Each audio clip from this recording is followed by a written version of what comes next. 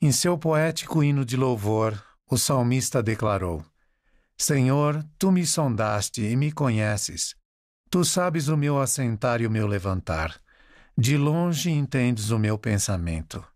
Cercas o meu andar e o meu deitar, e conheces todos os meus caminhos. No paralelismo semântico desse poema, o salmista enaltece o atributo divino da onisciência do Senhor, pois ele verdadeiramente conhece todos os aspectos de nossa alma. Ciente de tudo que nos é necessário nesta vida, o Salvador nos convida a buscá-lo em cada pensamento e a segui-lo de todo o nosso coração. Isso nos dá a promessa de que podemos andar em Sua luz e de que Sua orientação impedirá a influência da escuridão em nossa vida. Buscar a Cristo em cada pensamento e segui-lo de todo o nosso coração requer que alinhemos nossa mente e nossos desejos aos dele. As Escrituras se referem a esse alinhamento como estar firmes no Senhor. Essa atitude significa portarmos-nos com dignidade continuamente, em harmonia com o Evangelho de Jesus Cristo, e concentrar-nos diariamente em tudo o que é bom. Só então poderemos alcançar a prometida paz de Deus, que excede todo o entendimento e que guardará o nosso coração e os nossos pensamentos em Cristo Jesus. O próprio Salvador instruiu aos élderes da Igreja em fevereiro de 1831. Entesourai estas coisas em vosso coração, e que as verdades solenes da eternidade repousem em vossa mente. A despeito de nossos esforços contínuos para buscar o Senhor, pensamentos impróprios podem entrar em nossa mente. Quando permitimos que esses pensamentos entrem e até mesmo os convidamos a permanecer em nossa mente, eles podem moldar os desejos de nosso coração e nos conduzir ao que nos tornaremos nesta vida e, consequentemente, ao que herdaremos na eternidade. O elder Neil L. Maxwell certa vez enfatizou esse princípio quando disse: Os desejos determinam a gradatividade dos resultados, inclusive a razão pela qual muitos são chamados, mas poucos escolhidos. Os profetas antigos e modernos têm nos lembrado constantemente de que devemos resistir à tentação a fim de não perdermos nossa força espiritual e nos sentirmos confusos, desorientados e desiludidos na vida. Metaforicamente falando, ceder à tentação é como aproximar um imã a um objeto de metal. A força invisível do imã atrai o objeto de metal e o mantém junto a ele. O imã somente perde sua força magnética sobre o objeto quando o afastamos para longe dele. Portanto, assim como o imã não consegue exercer poder sobre uma peça de metal que está distante, ao resistirmos à tentação, ela se desvanecerá e perderá seu poder sobre nossa mente e nosso coração, e, consequentemente, sobre nossas ações. Essa analogia me faz lembrar de uma experiência que um membro muito fiel da igreja compartilhou comigo há algum tempo. Ela relatou que certa manhã, ao acordar, um pensamento impróprio que ela nunca havia vivenciado antes subitamente invadiu sua mente. Embora aquilo a tenha surpreendido completamente, em frações de segundo ela reagiu contra a situação, dizendo a si mesma e àquele pensamento: não. Imediatamente depois, ela o substituiu por algo bom, a fim de distrair sua mente do pensamento indesejado. Ela me disse que, à medida que exerceu seu arbítrio moral em retidão, aquele pensamento negativo involuntário imediatamente desapareceu. Ao clamar ao povo que acreditassem em Cristo e que se arrependessem, Moroni os exortou a chegarem-se ao Salvador de todo o coração, despojando-se de todas as impurezas. Além disso, Moroni os convidou a pedir a Deus, com inquebrantável firmeza, que não caíssem em tentação. A aplicação desses princípios em nossa vida exige mais do que simplesmente conhecê-los. É necessário ajustar nossa mente e nosso coração a esses princípios divinos. Tal ajuste requer que façamos um esforço pessoal diário e constante, além de depositarmos nossa confiança no Salvador, uma vez que nossas inclinações mortais não desaparecerão sozinhas. A luta contra a tentação exige uma vida inteira de diligência e fidelidade. No entanto, quero que saibam que o Senhor está pronto para nos ajudar em nossos esforços pessoais e promete-nos bênçãos extraordinárias se perseverarmos até o fim. Durante um período particularmente difícil, quando Joseph Smith e os outros prisioneiros na cadeia de Liberty não tinham nenhuma liberdade, a não ser em relação a seus pensamentos, o Senhor lhes proporcionou um conselho proveitoso e uma promessa que também se estendem a todos nós.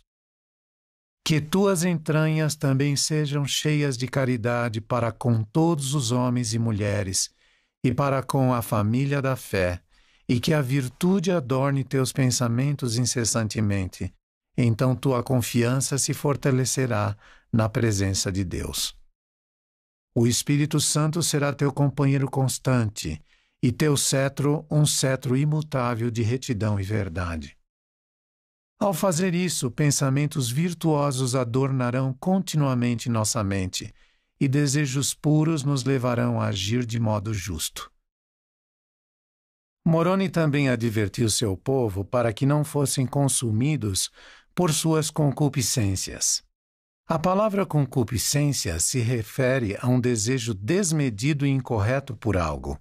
Ela engloba todos os pensamentos sombrios ou desejos malignos que fazem com que um indivíduo se concentre em práticas egoístas ou bens materiais em vez de fazer o bem, ser gentil e guardar os mandamentos de Deus.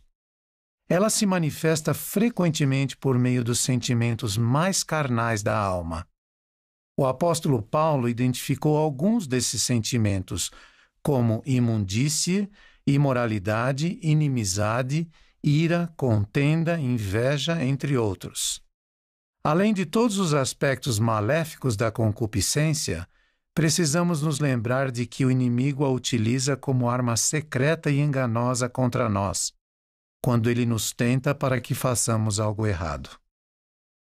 Meus amados irmãos e irmãs, Testifico-lhes que, ao confiarmos na rocha de nossa salvação, o Salvador de nossa alma, e ao seguirmos o conselho de Moroni, nossa capacidade de controlar nossos pensamentos aumentará consideravelmente. Posso assegurar-lhes que nossa maturidade espiritual aumentará em um ritmo crescente, transformando nosso coração e nos tornando mais semelhantes a Jesus Cristo. Além disso, a influência do Espírito Santo será mais intensa e contínua em nossa vida, e as tentações do inimigo pouco a pouco perderão seu poder sobre nós, resultando em uma vida mais feliz, pura e consagrada. Para aqueles que, a despeito do motivo, caíram em tentação estão enfrentando as consequências de seus atos indignos, asseguro-lhes que há um caminho de volta e que há esperança em Cristo. Há alguns anos tive a oportunidade de reunir-me com um querido membro da Igreja de Jesus Cristo, que passou por um período muito difícil na vida após cometer uma transgressão grave. Assim que o vi, notei certa tristeza em seu olhar, acompanhada de um brilho de esperança em seu semblante. Sua expressão refletia um coração humilde e transformado. Ele havia sido um cristão dedicado tendo sido ricamente abençoado pelo Senhor. No entanto, ele permitiu que um único pensamento impróprio invadisse sua mente e, posteriormente, o levasse a outros. À medida que ele se tornou cada vez mais permissivo com relação a esses pensamentos, eles foram se enraizando em sua mente e começaram a dominar seu coração. Com o passar do tempo, ele agiu de acordo com esses desejos indignos, levando-o a tomar decisões contrárias a tudo que era mais precioso em sua vida. Ele me disse que se não tivesse dado lugar àquele pensamento tolo desde o início, ele não teria se tornado vulnerável e suscetível às tentações do inimigo. tentações que trouxeram tanta tristeza à sua vida. Felizmente, assim como o filho pródigo na famosa parábola que se encontra no Evangelho de Lucas, ele caiu em si e acordou daquele pesadelo. Ele renovou sua confiança no Senhor, sentiu verdadeiro pesar e teve o desejo de voltar ao seu redil. Naquele dia, nós dois sentimos o amor redentor que o Salvador tem por nós. Ao final de nosso breve encontro, ambos estávamos tomados de profunda emoção, e até hoje lembro-me da alegria resplandecente em seu semblante quando ele saiu de minha sala. Meus queridos amigos, quando resistimos às pequenas tentações, as quais com frequência surgem inesperadamente em nossa vida, tornamo-nos mais aptos a evitar transgressões sérias. Conforme disse o presidente Spencer W. Kimball, é raro que alguém cometa transgressões sérias sem antes sucumbir a menores, que abrem as portas para as maiores. Um campo limpo não se enche de ervas daninhas da noite para o dia. Enquanto se preparava para cumprir sua missão divina na Terra, o Salvador Jesus Cristo nos ensinou a respeito da importância de resistirmos constantemente a tudo que possa nos desviar de cumprirmos nosso propósito eterno. Após várias investidas mal sucedidas do inimigo, que tentava desviá-lo de sua missão, o Salvador dispensou o diabo categoricamente ao dizer: Vai-te, Satanás. Então o diabo o deixou, e eis que chegaram os anjos e o serviram. Vocês conseguem imaginar o que aconteceria se obtivéssemos a força e a coragem provenientes do Salvador para dizermos não e vai-te aos pensamentos iníquos no exato momento em que eles entram em nossa mente? Que impacto isso teria sobre os desejos de nosso coração? como as atitudes que tomaríamos em decorrência dessa determinação nos manteriam próximos do Salvador e permitiriam que a influência contínua do Espírito Santo permanecesse em nossa vida? Sei que ao seguirmos o exemplo de Jesus, evitaremos muitas tragédias e comportamentos indesejados que podem causar problemas e desavenças familiares, emoções e inclinações negativas injustiças e abusos, escravidão por vícios malignos e tudo mais que seja contrário aos mandamentos do Senhor. Em sua histórica e tocante mensagem em abril deste ano, o presidente Russell M. Nelson prometeu que todos aqueles que estiverem dispostos a ouvir o Senhor e a obedecer a seus mandamentos serão abençoados com mais poder para lidar com as tentações, dificuldades e fraquezas e que nossa capacidade de sentir alegria aumentará, mesmo durante as crescentes turbulências atuais em nossa vida. Testifico-lhes que as promessas feitas por nosso querido profeta são as promessas do próprio Salvador.